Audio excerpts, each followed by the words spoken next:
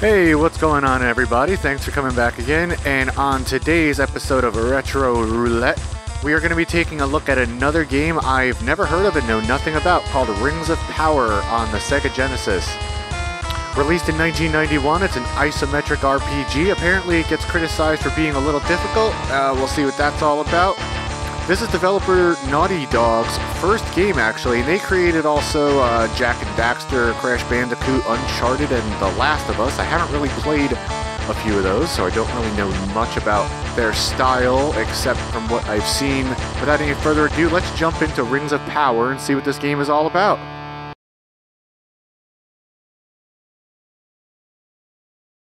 Okay, it's an electronic arts game. I've been getting a couple of those recently, haven't I?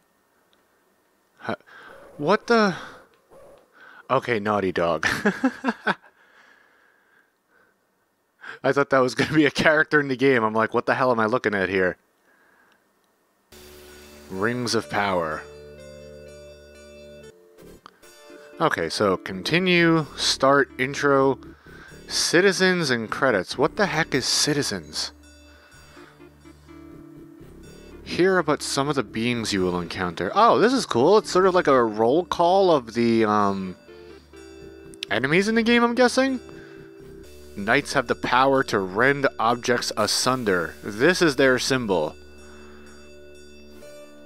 Is that the Fear Factory logo? Conjurers use their powers to call perfect images from other worlds. Their symbol is O. And Chuck Norris. Sorcerers, okay. Alright, so let's check out the credits. Nah, I'm kidding, we're not going to be doing that. That's fucking boring. From the Book of Nexus. Before Nexus, we lived in darkness. The sun shone as brightly as ever, but ours was a darkness of the soul. It was during this bleak time that a terrible plague swept our world, leaving only the strongest of us to carry on. Many have quested to recover the rings and restore the Rod of Creation to Nexus. All have failed. At the behest of Thalmus, you will be the next to undertake the sacred quest. Good luck on your journey and may Nexus walk with you. Let's start. the adventure begins. Cool. This game's already putting a smile on my face. Okay, so... Yeah, it is an isometric RPG. As usual, Dawn finds you on the path heading into town. Time to go to the academy. Master Thalmus wants to see you. Okay, so it shows you the buttons up top, which is kind of cool. Let's see, what does our menu look like anyway? Inventory, spells, party, search, map, camp. Some of this seems uh, self-explanatory, some of it doesn't, but we'll do our best. What is combat? Oh, it changed it down there. Combat. I don't want auto combat. That's kind of lame. Alright, out. Out, damn spot. Out. Alright, I gotta get used to these buttons a little bit. Alright, that's north. Okay, got it. What's that noise? Is that supposed to be water? Okay, so I guess we're gonna go here. It's gonna take a minute to get used to this. The Lobotomy Club sits atop Cogito Falls. The sign reads, Come on in and lose your mind. Come on in and lose your mind. Okay, so this game's gonna have a little bit of humor, it seems, in it uh, talk. Hey there, traveler. Welcome to the best tavern in town. Let me know if you want a drink. I could use a drink. Stop me if you've heard this one. A red priest and a black priest walk into a tavern. Yeah, so I knew they were going to inject some silly humor into this, I guess. I have nothing more to say on that topic. Oh, okay, I see. You choose... Okay, got it. You choose what you want them to talk about on the left class. I have nothing more to say on that topic. Okay, B is to pick. I'm already getting a little confused. What do you know of the six arts? I'm a sorcerer, of course, not an enormously powerful one, but a sorcerer nonetheless.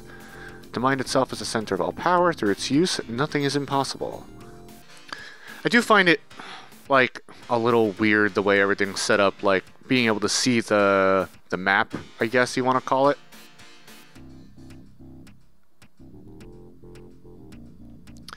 Game looks kind of ugly. I hope it plays plays well. Movement is a little janky. Did I just switch places with you? I just want to talk to you. I'm hitting C to talk. Do I actually have to be like facing you? But when I face you, you just switch places with me. Okay, there we go. Isn't this place great? I come here all the time. Yeah, I bet you do, you friggin' drunk. God, sometimes the confirm button keeps switching. What do you know of the six arts? Okay, you say the same thing as that woman did. Let's get out of here. I want to play a little more. Something a little more action-packed. Let's see if we can get into that. Gosh, this game is kind of gross looking. But it also seems like it has the potential to be fun. I don't know what I'm basing that off of, but it seems like it could be fun.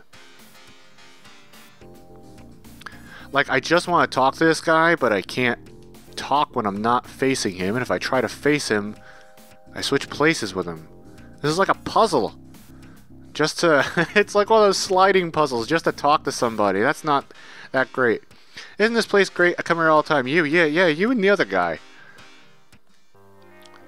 Feel like that controller does not need to be in the top right the entire time. It really feels like everything is just cluttered here. Okay, obviously I can't cross the water.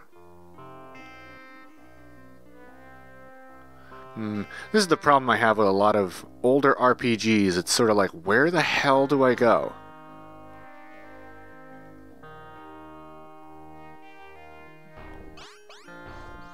Huh?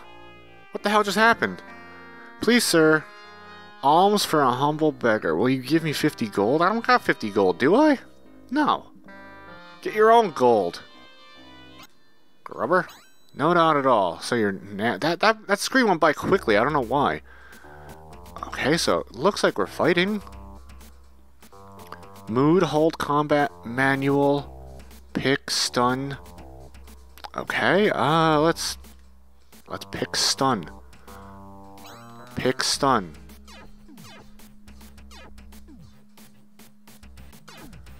Not really controlling anything here. Casts he casts punch. He said he punches me. You've earned 6 experience per person. You also captured 20 gold pieces. It's a weird way to say it, that I captured gold pieces. Yay! Okay, cool. I was uh, kind of worried that we wouldn't even be able to get to a battle, but we did. And now I'm in the middle of fucking nowhere. Not even sure how I got here. Okay.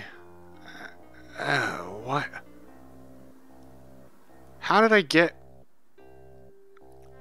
here from there?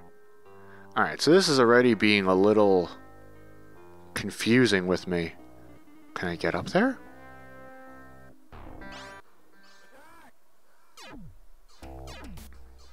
See, what the heck was that? It just like got into this so quickly. I'm not sure if that's how it works or if I'm just doing something wrong. Now, I'm not controlling any of the movement, so I don't know if I can at some point. And now I just moved by myself. Yeah, I don't know what's going on with this game. Now, it seems like this game could be fun if you know what you're doing. And, I mean, I gotta say, even for 1991, these graphics are lacking a little bit. I mean, and why movement has to be so, I'll say it again, janky. It just feels like everything's... I mean, you can see it doesn't look smooth. Come on, lose your mind. Wasn't I here? Did I loop around?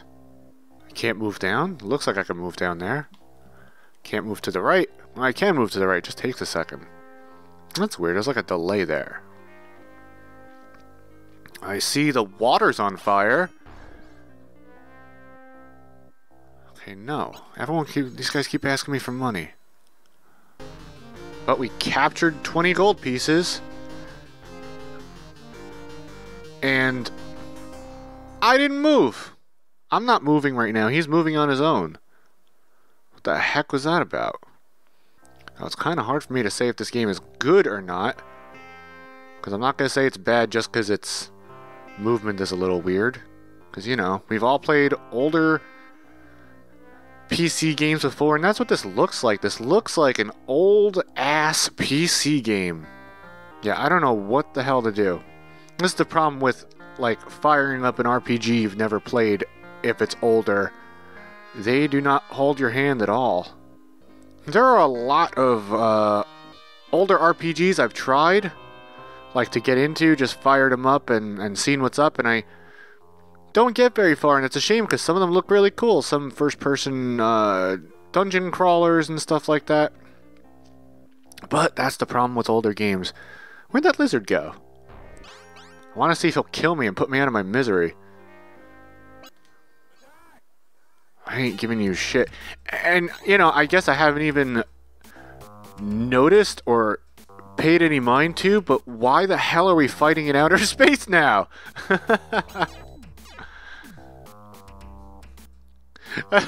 he just like moonwalks backwards to get the hell away from the enemies. Fancy dance moves. I haven't been this confused by a game in a long time. That looks like a really small house. A ratty little shack on a hill. Okay. Talk. I hate sorcerers. Why are you bothering me? Let's bother you some more. And now we're fighting this guy. Well, I don't know if I'm going to get much further in this game because, like I've said a few times, I don't know what the heck is going on. Um, the game looks kind of fun if you know what you're supposed to do. So, I don't know. If you like older style You've been killed in battle. Your quest is over. Jesus Christ, that screen was so quick I couldn't even read it. Now we're back at the title screen. Well, you know what? I was trying to wrap up anyway, so I'm just going to say this. This game looks like it has potential, but I don't know what the hell I'm supposed to do. Uh, if you're a fan of older style RPGs and you grew up with them, you might enjoy this one, but I don't know. I'm not sure if I'm ever going to return to this one again. It looks cool, but man, the movement feels stilted. Uh, and nothing seems very intuitive. It's a little confusing. It's a shame because Naughty Dog, you know, went on to make some really good things. I was hoping to see an inkling of that here, but I did not. So I might play it again one day. Uh, don't count it though. If you guys have played this game and you know what the hell is going on with it, you know, feel free to comment and let me know. Otherwise, I will see you all again next time on the next episode of Retro Roulette.